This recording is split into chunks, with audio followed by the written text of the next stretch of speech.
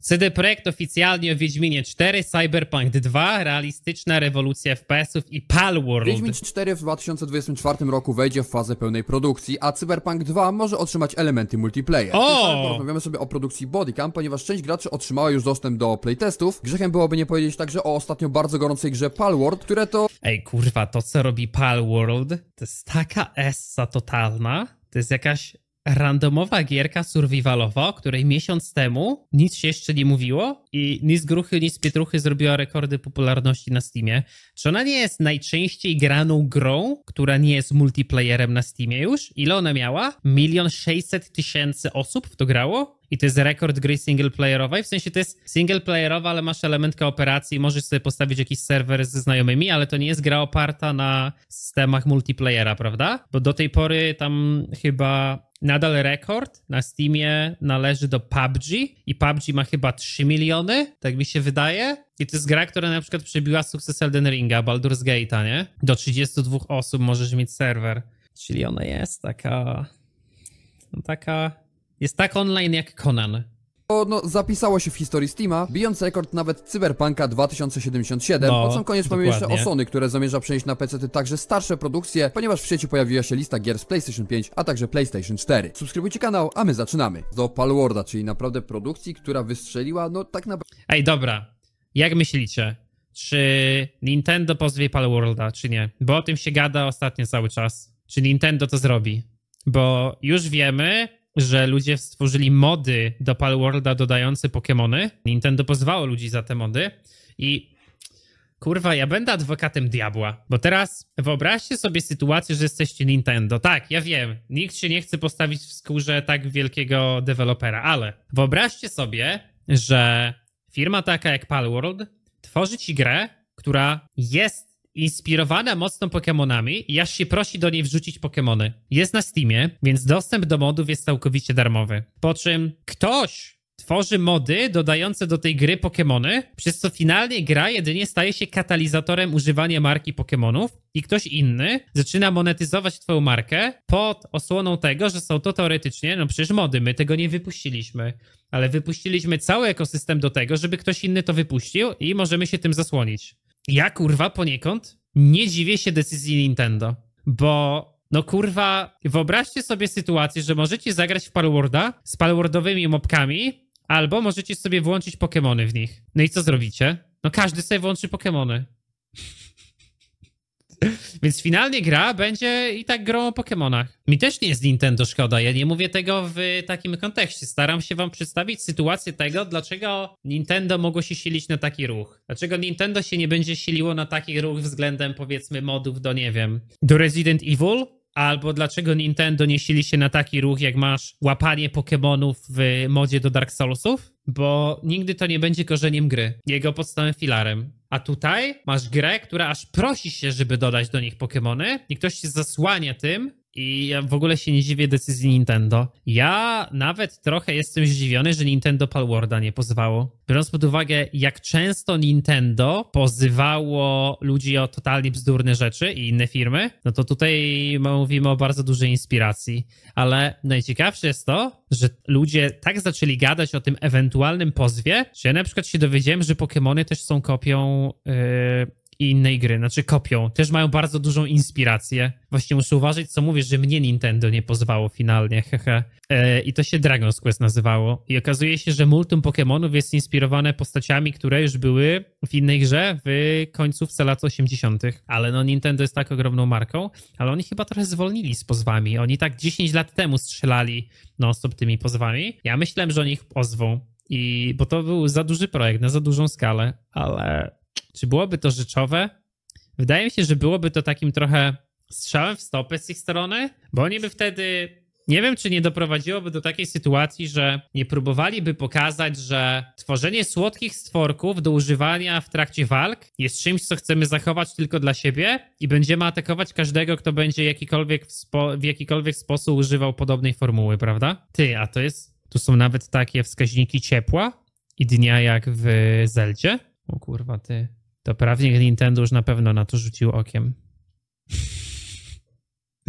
Prawda, nie wiadomo skąd. Nie chcę się Nintendo wyłączy streamerów, którzy streamują Zeldę na modach było tak, nie wiem czy tak jest teraz. Kiedyś był bardzo duży problem z tym. Nintendo potrafiło ściągać recenzje Zeldy, które im się nie podobały i dawać copyright strike'a, że używają ich kontentu w postaci gry. Serio, coś takiego Nintendo kiedyś robiło. Nintendo kiedyś potrafiło na YouTubie walić ludziom copyright strajki za to, że pokazywali ich grę. Tylko robili to tylko w sytuacjach, gdy nie było to dla nich e, pozytywne. za bardzo rozgadywać na temat tej produkcji, ponieważ o tym powiedział wam Patryk w niedawnym materiale, dlatego odsyłam wam do niego, ponieważ ja chciałem się skupić na wynikach, które gra wybiła w ciągu ostatnich trzech dni. W momencie, kiedy Patryk przedstawiał wam Palworda, w all-time peaku znajdowało się 715 A wy tysięcy też graczy. pytacie, że ja w to zagram, ale ja w to nie zagram. To kurwa, na pewno teraz w to nie zagram. Może na ogólną premierę, ale w ogóle nie jara ta gra. Jest zbyt cukierkowa, kurwa. Ja gram w RPG. Obecny moment, kiedy wejdziemy sobie na stronę steamcharts.com, liczba ta zwiększyła się w bardzo dużym stopniu, ponieważ teraz w all-time peaku znajduje się 1 284 tysiące graczy. To właśnie pokazuje, że zainteresowanie Palwardem w żaden sposób nie zwalnia, wręcz przyspiesza, a do tytułu dochodzą coraz to nowi gracze i kto wie, czy w przeciągu powiedzmy kilku bądź kilkunastu godzin liczba ta znowu się nie powiększy. No dobra, powiedziałem o liczbie graczy, aczkolwiek w tym wypadku trzeba by było jeszcze powiedzieć o samych sprzedanych sztukach, ponieważ to, co się dzieje w ciągu ostatnich dni, całkowicie rozbija bank. Pomyślcie sobie, że w ciągu pierwszych 40 godzin od debiutu we wczesnym dostępie Palworld sprzedało się w ponad 3 milionach egzemplarzy. Twórcy nawet wrzucili bardzo ładną grafikę na swojego Twittera, gdzie dziękują graczom kurwa. za tego typu osiągnięcie. Przyszedł weekend, ludzie Ale nie macie wrażenia, że duża część sukcesu Palworlda stoi za jego przystępną ceną? Że to nie jest gra, y, na którą musisz wywalić stary 500 zł, żeby ją sprawdzić, ty- ty- tylko to jest gra, na którą wywalasz stówę, ona kosztuje 120 zł. Po prostu dla ludzi jest to taka sytuacja, że bardzo często ta różnica pomiędzy wydaniem stówy a trzech stów jest na tyle duża, że o tej stówie nawet w ogóle nie myślisz. Gra ma super cenę, ona kosztuje 125 zł, nie? Na Steamie, na złotówki. Eee, I ludzie po prostu chuj, dawaj, sprawdzę sobie. Tak to masz, masz do wyboru, albo sobie sprawdzić Starfielda na 10 godzin rozgrywki za 500 zł, albo skupić sobie i żonie za 250 zł Palworda i sobie pograć razem i spędzić jeszcze wspólnie czas, kurwa. mieli wolne, a co za tym idzie, liczba ta jeszcze bardziej wzrosła. Ponieważ grę w ciągu zaledwie 3 Moim zdaniem, serio, już to jest ogromny sukces Palworda stoi za jego świetną ceną. 4 miliony osób, z czego w ostatnim czasie osiągnęła ona wydajność na poziomie 86 tysięcy sztuk nabywanych co godzinę. Ale nie, spokojnie, to jeszcze nie koniec, ponieważ liczba ta jeszcze, ale to no jeszcze bardziej wzrosła, ponieważ w tym momencie całość kształtuje się na poziomie 5 milionów sprzedanych sztuk na wszystkich platformach. Jakby, no nie da się ukryć, że wyniki sprzedażowe Palworda zmieniają się co godzinę i dobrze, ponieważ tytuł naprawdę nie jest zły i co prawda jeszcze nie miałem w okazji w niego zagrać, aczkolwiek to, co się obecnie dzieje z nim, chyba coraz bardziej kusi mnie do po prostu zakupu i sprawdzenia, Ja czy te też. Pokemonki naprawdę Ja są też tak tak mam, już taki. Stworzył się taki efekt kuli śnieżnej, że normalnie bym tą grę osrał, ale aż mam ochotę włączyć, ale nie chcę. Nie mój Nie, tytuł. jak są opisywane. Często bywa tak, że deweloperzy pojawiają się na różnych wywiadach dla jakichś serwisów, aby zdradzić jakieś ciekawe informacje na temat ich nadchodzących projektów. Czy to na przykład podczas Milan Games Week 2023, gdzie włoski serwis Lega Nerd przeprowadził rozmowę z Sebastianem Kalebą, czyli szefem działu animacji w CD Projekcie. Dowiedzieliśmy się wtedy, że Ja Wiedźmin myślałem, 4 ma przekroczyć gatunku to Polak RPG. Jak będzie. stwierdził polski deweloper, CD Projekt Red ma duże ambicje i przekazał informacje o znaczeniu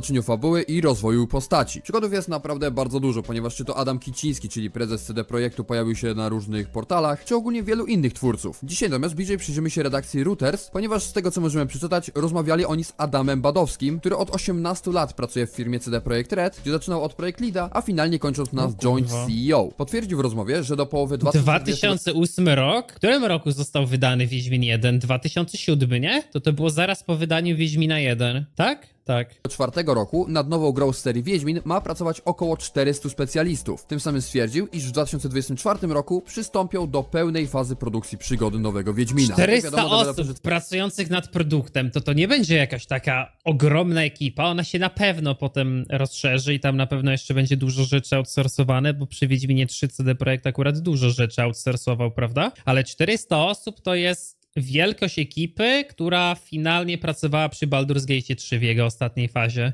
No tak, no to jest pewnie 400 stałych osób zatrudnionych, które będzie pracowało, no. No ale wiecie, były takie informacje, że przy Diablo 4 pracowało na przykład 9 tysięcy osób, ale to wliczyło się wszystkie pewnie dodatkowe zoutsourcowane osoby na jakąś umowę o dzieło na 40 godzin do wypracowania, nie? Tutaj mówimy o 400 stałych osobach, a przy projekcie, no projektu dotknie pewnie z 1000, 2000 osób, tak, tak łącznie. cały czas nie podzieli się fazie. datą premiery, aczkolwiek jak twierdzą analitycy z serwisu Reuters, produkcja Tak, miała no. Baldur's zaczął od ekipy chyba 200 osób na początkowej fazie, a finalnie się rozwinęli do 400 osób, no.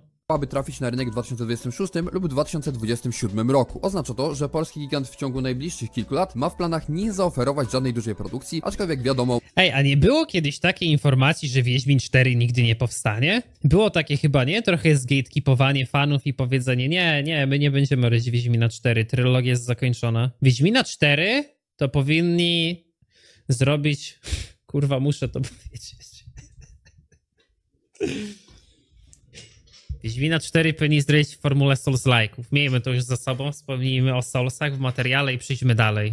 Może się to wszystko zmienić. Co do tego Cyberpunka dwójki, czy jak kto woli Cyberpunka Oriona. Jak wiadomo, będzie to kolejny projekt, który rozwinie całą domenę Cyberpunka, no i niestety, lecz na obecny moment ciągle znajduje się w fazie koncepcyjnej, a do końca roku nad tytułem ma czuwać około 80 deweloperów. Wspomniał on, że produkcja może otrzymać Dużo. elementy rozgrywki multiplayer, lecz aktualnie nie możemy liczyć nawet na drobne szczegóły. Badowski potwierdził, że utworzony został zespół, którego zadaniem jest sprawdzenie, w jaki sposób można wykorzystać sztuczną inteligencję w grach CD Projektu. Uważam, że sztuczna inteligencja to coś, co może pomóc ulepszyć pewne procesy w produkcji gier, ale nie No zastąpi pewnie. ludzi. I wiadomo, na obecny moment nie ma co zakładać. Są to rzeczy bardzo poglądowe i tak dalej, ponieważ jak już wcześniej powiedziałem, dokładnie chwilę temu, Cyberpunk 2 czy właśnie ten no Cyberpunk Orion ciągle jest koncepcyjny i wszystko na obecny moment jest w fazie planowania, także nie ma co wybiegać aż tak daleko w przyszłość. Aczkolwiek Kurwa, wiem, jak- generalnie mając zbudowaną tak zajebistą mapę, jak ma Cyberpunk, to moim zdaniem niewykorzystanie tego do próby wytworzenia systemu online, który by działał podobnie jak system online w GTA, to jest ogromny błąd. Naprawdę. To jest bez kitu. Ta gra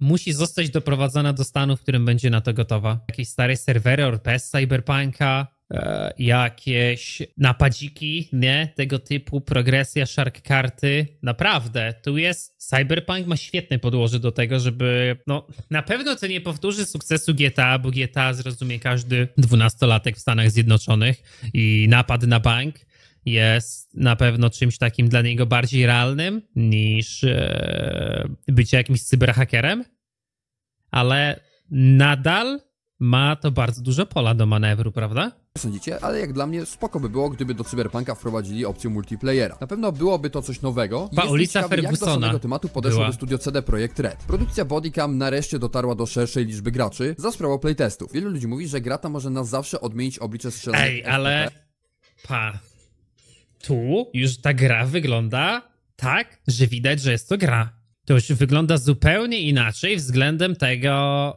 y, tej pierwszej pokazówki. Tu już widać, że to ma narzucone takie realne filtry, takie rozmycia, jest bardzo y, rozjaśniona. Ten generalnie efekt rozjaśnienia dodaje tyle realizmu, ale jak to się narzuci na całą grę, to to potem wygląda jak mody do Cyberpunka. Pamiętacie, oglądaliśmy jedną taką pokazówkę, gdzie bez kitu w garażu auta wyglądały hiperrealistycznie i wy nawet zadawaliście pytanie, czy serio to jest, czy, czy serio to nie jest nagranie, czy to jest w Cyberpunku.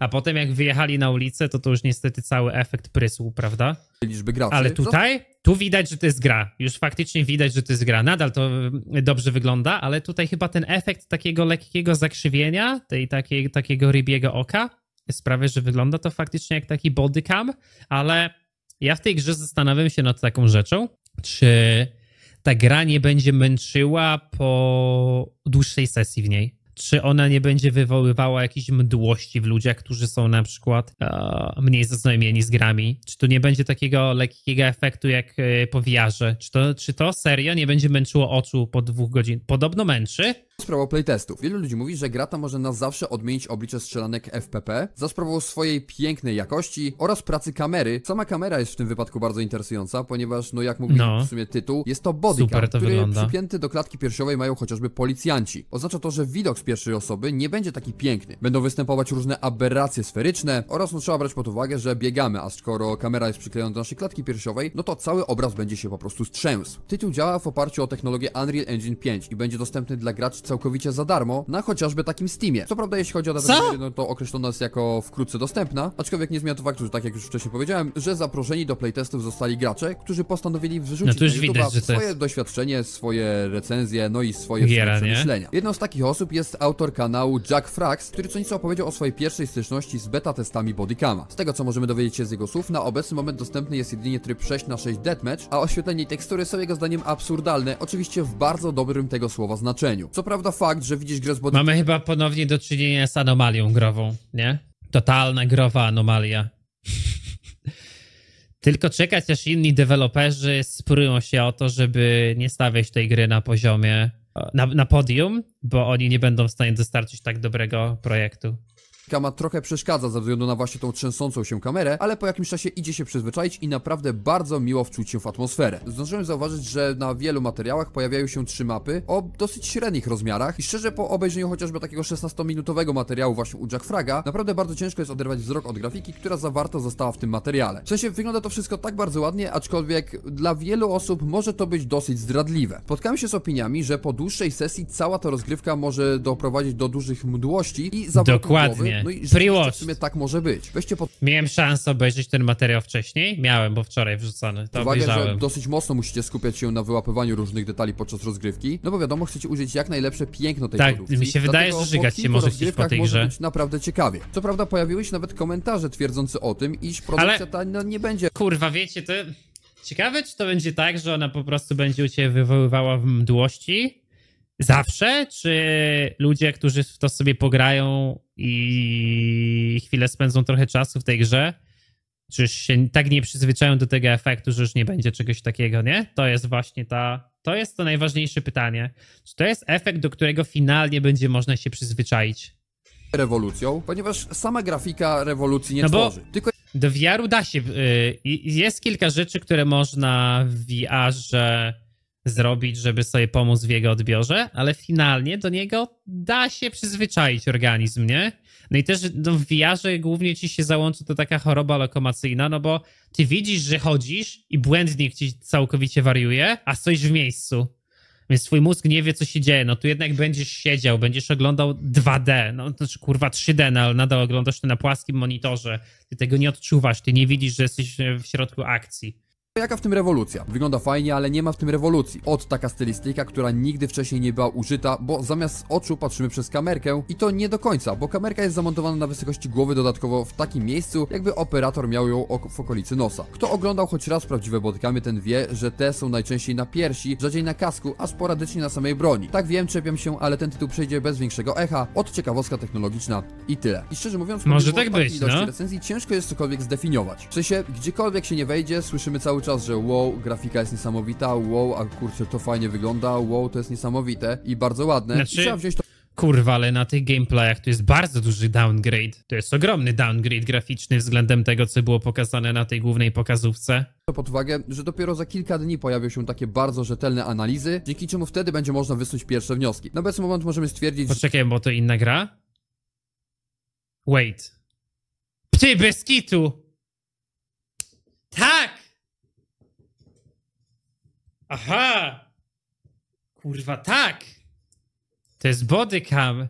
A i dlaczego ja cały czas myślałem, że mówi się o tej drugiej grze? Bo ona miała te same efekty. Nie, ja nie bejtowałem bez kitu. Miałem wrażenie, że my gadamy, stary, o tej grze, co... No, bo była taka gra, właśnie ona się Unrecorded nazywa, a to jest Bodycam. Ej, całkowicie zapomniałem tam tej nazwy, Unrecorded. Aha. No to Unrecorded wyglądało przepięknie. Unrecorded zamilkło. Więc inna firma wzięła się za ten typ. No bo z Unrecorded dostaliśmy jeden in-game taki trailer i tyle. A tutaj ktoś to odtworzył ten efekt zupełnie inaczej. że twórcy, czyli Raysat Studios, wykonali produkt bardzo dobrze i pokazali, że produkcja już w obecnym momencie znajduje Ej, ale nawet, na bardzo nawet my tutaj mówimy o sytuacji, gdzie chodzi się o po identycznych budynkach. To mnie tak zmyliło. Teraz, porty od kilku lat nabrały bardzo mocno na sile, przez co ekskluzywy, które były No, mentalność tu mu się włącza. Stawały się powolutku również grami znajdującymi się na PC-tach. Wiadomo, w 2024 roku sytuacja ta się nie skończy, a porty wciąż będą rosły na sile. Pytanie jednak, co w 2024 roku przygotuje dla PC-towców Sony? Ano według przecieku z Reddita, do którego ktoś dokopał się na Forczanie, Sony ma w tym roku wypuścić aż 5 tytułów na PC-tach, wśród których znajduje się nawet stary Bloodborne. hit PlayStation 5. Lista obecnie macie na ekranie i szczerze wam przyznam, The Last of Us, God of Demon Souls, Ghost of Tsushima, Gran Turismo. Brakuje Bloodborna, nie? A na pewno, w tym roku już na pewno wypuszczą Bloodborna. Że tutaj zbyt wiele nie Bloodborna i stanowi wypuszczą Bloodborna 2 i też go wydadzą na PC. dla nas takie wow. Co się wiadomo, God of War 4 pojawi się na kompie, więc raczej na pewno pojawi się God of War Ragnarok. Co prawda nie wierzę w to, że będzie on w 2024 roku, aczkolwiek no na pewno się pojawi. Tak samo The Last of Us Part 2 Remaster. Też w pewnym czasie się pojawi i jest to już jakby no pewniak. Ghost of Tsushima Director's Cut, no sytuacja wygląda tak samo. Gran Turismo 7, tak samo. Marvel Spider-Man 2, tym razem tutaj mamy na nawiasie początek 2025 i w sumie no to by się mogło zgadzać, ale mamy też tutaj Demon Souls, który był startowym hitem na PlayStation 5, także jestem ciekawy co w tym wypadku twórcy przygotują oraz prawdopodobnie ku zaskoczeniu wielu z was pojawiło się tutaj Infamous Second Son, czyli jeden z pierwszych hitów PlayStation 4. Dajcie znać czy graliście w te tytuły na konsolach PlayStation, a jeśli nie, no to na jaki z nich czekacie najbardziej. Wiadomo jest to plotka, więc należy podchodzić do całego tego tematu z przymrużeniem oka, aczkolwiek wiele z tych produkcji to są pewniaki, które na pewno pojawią się na kompie. Nie wiadomo dokładnie czy w 2024 roku, aczkolwiek no raczej na pewno To był pojawią. jakiś taki- Dzięki wielkie materiału, serwus. Prototype? Stary? Czy co to było?